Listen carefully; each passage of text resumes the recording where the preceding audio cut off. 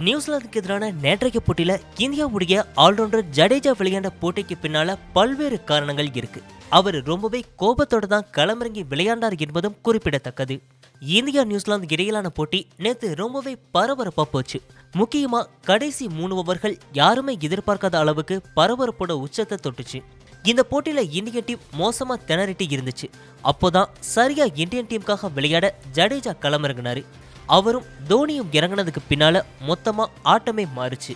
ஒரு பக்கம் ஜடேஜா அதிரடியா விளையாட இன்னொரு பக்கம் தோனி பொறுமையா விளையாண்டு ஜடேஜாவுக்கு ஸ்ட்ரைக் கொடுத்துட்டே இருந்தாரு. இவங்க ரெண்டு பேருடைய பார்ட்னர்ஷிப் மட்டுமே நூறு ரன்களுக்கு மேலே இருந்துச்சு. ஜடேஜா மொத்தம் ஐம்பத்தி ஒன்பது பால்ல எழுபத்தி ஏழு ரன்கள் எடுத்தாரு. இதுல நாலு பவுண்டரியும் நாலு சிக்ஸரும் அடக்கும்.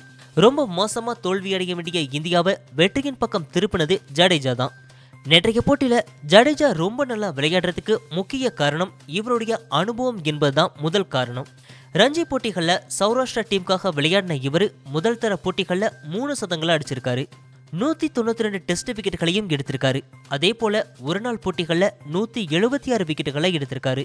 அதே போல இவர் ஏழாவது வீரராக களமிறங்கி பேட்டிங்கில் டெஸ்ட் போட்டிகளில் முப்பத்தி இரண்டு புள்ளி இருபத்தி எட்டும் ஒரு நாள் போட்டிகளில் முப்பது புள்ளி அறுபதும் ஆவரேஜாக வச்சிருக்காரு. ஐபிஎல் போட்டிகளில் சென்னை டீமுக்காக இதை விட சிறப்பாக விளையாடி இருக்காரு. இந்த நீண்ட அனுபவம் தான் நேற்று போட்டியில் அவருக்கு ரொம்பவே உதவுச்சு.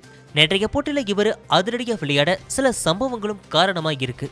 குஜராத்துடைய ஜாம்நகரில் பிறந்த இவர் சின்ன வயசுல இருந்தே கிரிக்கெட் வீரராக வேண்டும் என்று தான் ஆசைப்பட்டு இருக்காரு. ஆனா இவருடைய அப்பா இவரை ராணுவ வீரராக ஆக்க வேண்டும்னு நினைச்சிருக்காரு. இவருடைய அப்பா தனியார் நிறுவனத்தில் வாட்ச்மேனாக பணியாற்றிட்டு வந்தார் என்பதும் குறிப்பிடத்தக்கது. ஜடேஜாவுடைய அம்மா இரண்டாயிரத்து ஐந்துல விபத்துல உயிரிழந்தார். அதன் பின்னால தான் இவருக்கு இந்தியன் டீம்ல ரொம்ப லேட்டா வாய்ப்பு கிடைச்சது. கொஞ்சம் கொஞ்சமா முக்கிய நபரா உயர்ந்தாரு. தோனி இந்தியன் டீமோட கேப்டனா வந்ததுக்கு பின்னால இவருக்கு டீம்ல நிலையான இடம் கிடைச்சது. ஆனா தோனி போய் கோலி வந்ததுக்கு பின்னால ஜடேஜா புறக்கணிப்புக்கு உள்ளானாரு. நல்லா விளையாடிட்டு வர ஜடேஜாவும் அஸ்வினும் டீம்ல இருந்து புறக்கணிக்கப்பட்டாங்க. ஜடேஜா முதல் தர போட்டிகளில் சரியா விளையாண்டாலும் கூட டீம்ல இடம்பெற முடியாம கஷ்டப்பட்டாரு. குல்தீப் சஹல் வருகைக்கு பின்னால ஜடேஜா மொத்தமா காணாமல் போயிட்டாரு.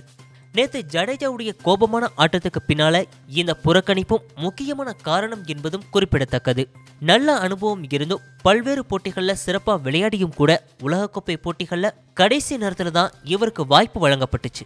அதே போல மும்பையைச் சேர்ந்த வர்ணனையாளரான சஞ்சய் மஞ்சரேக்கர் ரோஹித் சர்மாவை உயர்த்தி பேசி ஜடேஜாவை உதிரிகளின் வீரர்னு கிண்டல் பண்ணாரு.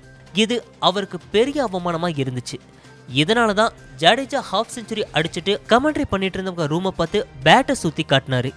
அதே போல நேற்று நடந்த போட்டியில் ஜடேஜா தன்னை நிரூபித்தால்தான் அவருக்கான அடையாளம் உணவு உருவாக்கிக்க முடியும். இனி வரும் போட்டிகளில் அவர் டீம்ல இடம்பெற வேண்டும்னா அதுக்கு கண்டிப்பா நேத்து சரியா விளையாட வேண்டும். அதை உணர்ந்த ஜடேஜா நேத்து ரொம்ப நல்லாவே விளையாண்டாரு. இந்த தொடர் முழுவதும் அவரை பலரும் ஃபார்ம் இல்லாதவர்னு கிண்டல் பண்ணாங்க. ஆனா எல்லாத்துக்குமே இப்போ ஜடேஜா பதிலடி கொடுத்து இருக்காரு. நேற்றைய போட்டியில் அவருடைய ஆட்டத்துக்கு பலனில்லாமல் போயிருக்கலாம். அவரால் போட்டியை வின் பண்ண முடியாமல் போயிருக்கலாம். ஆனால் நூற்றி இருபது கோடி மக்களுடைய மனங்களை நேற்று ஜடேஜா வென்று இருக்காரு